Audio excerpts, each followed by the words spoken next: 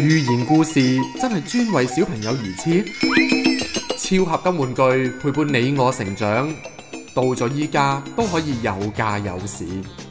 咁伊索寓言會唔會都可以有佢自己嘅價值同埋意義呢？帶你進入最赤裸、最貼近原著嘅伊索世界。聽完之後，唔知你又會攞到啲乜呢？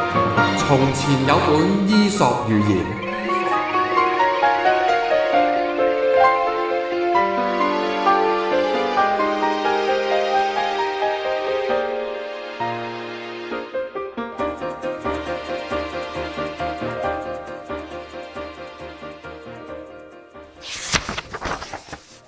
狗和鐵匠們。有隻狗喺鐵匠屋企生活，班鐵匠揼嘢嘅時候，呢隻狗就瞓到腳腳聲。但係當佢嘅主人喺度食緊嘢嘅時候，佢就生生猛猛咁走嚟走去。班鐵匠見到咁就好好奇，問隻狗啦：啊，我真係唔明嘅啫，點解我揼嘢嘅聲音？嘈極你都唔會醒嘅，但係我細細聲嚼嚼嚼嚼嚼，竟然會嘈醒你喎。伊索先生講呢個故事想話，好多人對於自己有利嘅事情，觸覺特別敏锐，反應特別快；而對於自己不利不快嘅事情呢，就一啲都唔在意，甚至冇反應。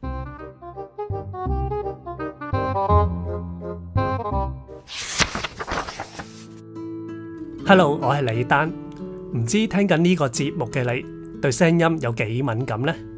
我諗你都唔會係嗰啲坐喺架巴士或者地鐵度唔戴耳筒，將手機開到大大聲喺度播片嘅人啩？好似我呢啲對聲音有啲高度敏感嘅人，真係覺得好惡頂，搞到真係火都嚟啊！不過所謂高敏就真係有啲選擇性嘅。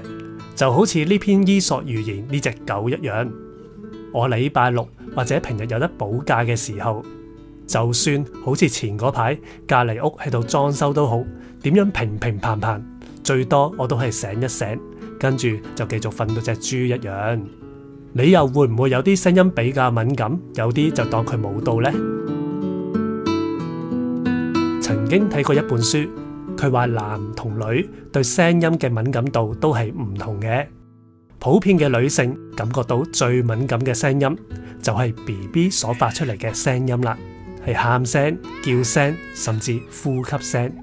呢啲聲嚟自好遠，佢哋都會 sense 得到。咁男性喺呢方面呢，就一啲都唔敏感啦，所以就會成日俾老婆話對自己嘅 BB 冇心肝咯。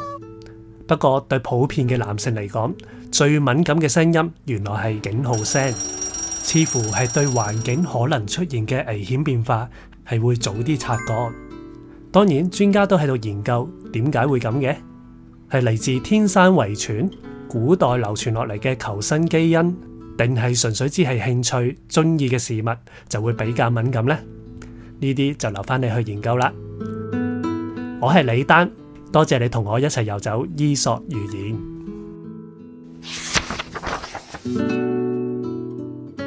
狗和鐵匠們，主人啊，其實你好傻嘅，我狗啊，梗係聾噶啦，我點會聽到你哋打鐵嘅聲音嘅啫？其實啊，我啊用個鼻去聞到你哋食緊嘢啫嘛，啲食飯餸咁香，我梗係嚟啦。平時我梗係好少嚟噶，一於咧。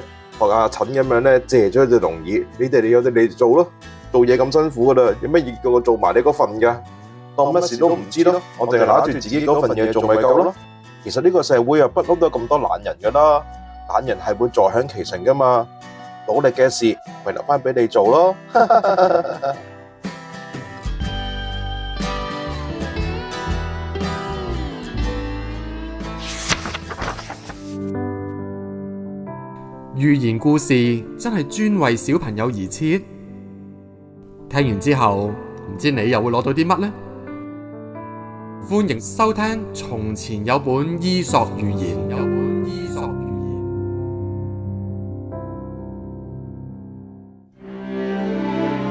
言有不一样故事的声音。